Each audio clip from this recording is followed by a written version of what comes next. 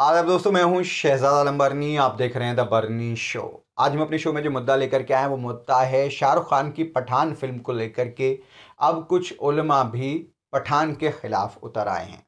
हालाँकि हमारे देश के अंदर ये तय करना बड़ा मुश्किल हो गया है कि कौन असली उलमा है, कौन नकली उलमा है। उलमा को लेकर के भी तरह तरह के लोग सोशल मीडिया पर आमतौर पर देखे जाने लगते हैं। यहाँ तक कि कुछ डिबेट वाले मौलाना हैं तो कुछ राजनीतिक मौलाना हैं, जिनका काम है सिर्फ़ राजनीतिक मंचों पर खड़ा होना। लेकिन जब भी कोई उन्हें मुद्दा मिलता है इस तरह का तो वो सीधे तौर पर निकल आते हैं अपनी राजनीति सेकने के लिए। लबादा होता है उनके पास इस्लाम का।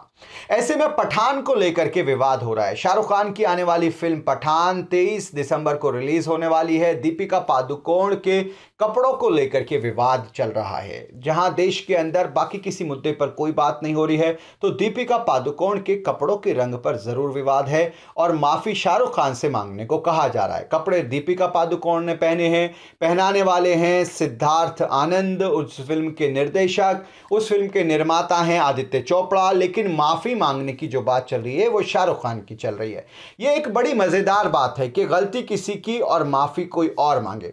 ऐसे में मध्य प्रदेश उलमा बोर्ड के अध्यक्ष सैयद अनस अली की तरफ़ से बयान आया। साथ में ऑल इंडिया मुस्लिम त्योहार कमेटी के तरफ़ से भी बयान आया है। उसमें कहा गया है कि शाहरुख खान की जो आने वाली फ़िल्म है, उसमें इस्लाम का गलत प्रचार किया गया है। कोई इनसे ये पूछे कि क्या ये फ़िल्म वाकई में इस्लाम के लिए है? क्योंकि इस्लाम के प्रचार से इस फ़िल्म का कोई लेना देना नहीं है, सिर्फ़ इस फ़िल्म का नाम पठान है।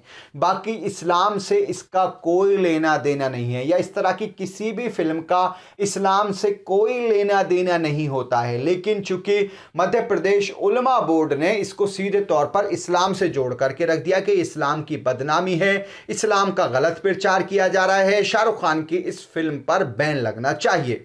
लेकिन ये जो मौलाना हैं, ये जो इस तरह के जो मौलाना होते हैं, इनकी कुछ और बैकग्राउंड भी होती है। हम आपको कुछ तस्वीरें दिखाते हैं इनकी मौलाना की। मध्य प्रदेश का चूँकि मामला है, इसलिए एक तस्वीर सबसे पहले देखिए। मध्य प्रदेश के मौजूदा मुख्यमंत्री शिवराज सिंह के साथ। आप ये तस्वीर देखिए, मंच पर शिवराज जी हैं साथ में। ये मौलाना भी खड़े हुए हैं, जो कह रहे हैं कि पठान फ़िल्म जो है, उसमें इस्लाम का गलत प्रचार हुआ, इसलिए इस पर बैन लगना चाहिए। एक और तस्वीर हम दिखाते हैं। आरएसएस के नेता इंद्रेश कुमार के साथ उनके कार्यक्रम में पीछे की तरफ़ साइड में बैठे हुए हैं ये हज़रत, जो इस्लाम की दुहाई दे रहे हैं। आप देखिए इनको, इनकी तस्वीरें देखिए कि किस तरीके से इन लोगों का राजनीतिक गठजोड़ होता है। और भी तस्वीरें दिखाते हैं, और भी आप देख सकते हैं, और तस्वीरें भी अलग अलग कार्यक्रमों की, इनकी हज़रत की आपको मिल जाएँगी। ऐसे में सवाल ये उठता है कि क्या वाकई में इस तरह के फर्जी नकली मौलानाओं से किसी को कोई असर होना चाहिए या इन लोगों का भी बायकॉट नहीं होना चाहिए? जिस तरीके से एक तरफ़ जहाँ इस्लाम के नाम पर ये पठान का बायकॉट कर रहे हैं, कहीं ना कहीं इनके भी एक बायकॉट की ज़रूरत है कि इस तरह के लोगों का बायकॉट होना चाहिए। इन लोगों का मकसद सिर्फ़ और सिर्फ़ देश के अंदर ध्रुवीकरण करना इन लोगों का मकसद होता है। इसके लिए इन्हें मोटी मोटी क्या क्या सहूलियात मिलती हैं, आप भी समझ सकते हैं, उसको कहना शो में ज़रूरी नहीं है। आप इस पूरे मामले को किस तरीके से देखते हैं, अपनी राय ज़रूर बताएँ। वीडियो के नीचे कमेंट बॉक्स है, उस कमेंट बॉक्स में जाएँ, जाकर के अपनी राय हमें ज़रूर बताएँ। आज के इस एपिसोड में इतना ही। हमारी आपसे रिक्वेस्ट है, इस वीडियो को शेयर ज़रूर करें और हमारे चैनल को सब्सक्राइब ज़रूर करें और आप हमें सोशल मीडिया पर, यानी इंस्टा ट्विटर और फेसबुक पर फॉलो करने के लिए वीडियो के नीचे जो लिंक्स दिए हुए हैं, उन लिंक्स पर जाकर आप हमें सोशल मीडिया पर फॉलो कर सकते हैं। बहुत बहुत शुक्रिया।